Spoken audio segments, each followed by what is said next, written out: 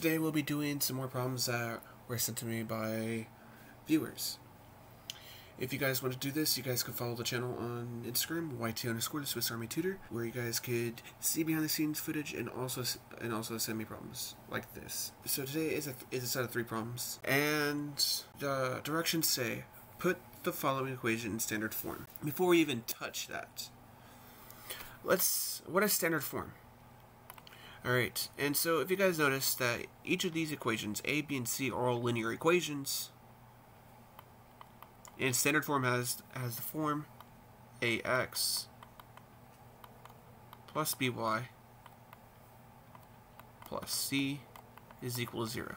There's another form that that's actually covered in Algebra 1, and you'll see that in the Algebra, Algebra 1 playlist, y is equal to mx plus b, which is a lot more useful because it gives us more information about the line.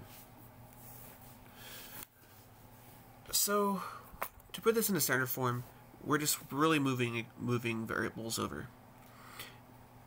So for the first one, y is equal to 2x plus 4.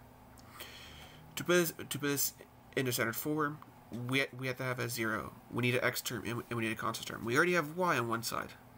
So we can either move the y over or we can move the x, x and 4 over. I generally like working with positive values, so I'm going to move the 2x, the minus 2x, and the minus 4 over. So to do that, we must add 2x to both sides, and then we must add 4 to both sides. Since we do have an equation, whatever we, whatever we do to one side, we must do to another. That is the laws of algebra. And so 2x plus 4, sorry, 2x plus y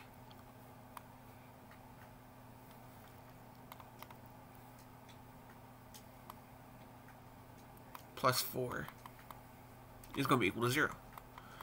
And we're done. Fast and easy. Let's do another one.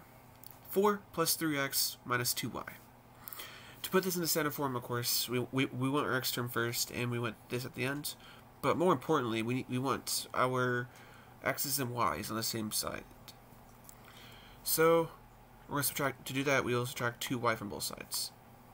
Because, once again, because we, we are dealing with equations, we must do both sides equally. So if we subtract 2y from one side, we must subtract 2y from the other. And so that will leave us with uh, 4 plus 3x minus 2y is equal to 0. Now, all we're going to do is just apply a couple uh, properties of addition. So what we're going to do is we're going to move this over. Because the value is unchanged, what we're going to do is we're going to just uh, 3x, rewrite it as 3x minus 2y plus 4 is equal to 0.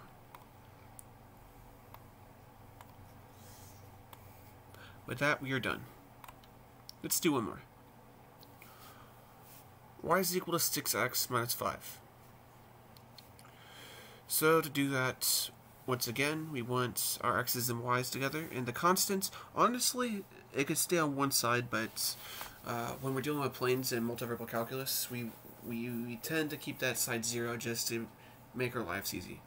So what we're going to do is we're going to subtract 6x from both sides. So what we're going to do is we're going to move 6x from both sides to both sides.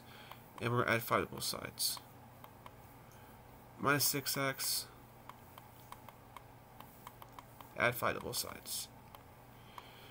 So in total that will give us 6x plus y plus 5 is equal to 0. And we're done. Just a quick recap. Within our problem today, we were given linear equations. And we're asked to put them into standard form. And standard form is ax plus by plus c is equal to 0. Mm. Me personally, I find this pointless because y is equal to mx plus b will give us more information about the line and, and its behavior between the correlation between x and y. Uh, doing simple algebraic manipulations, we can easily go from this form to this form which you which you have seen earlier in the video. See you guys next time.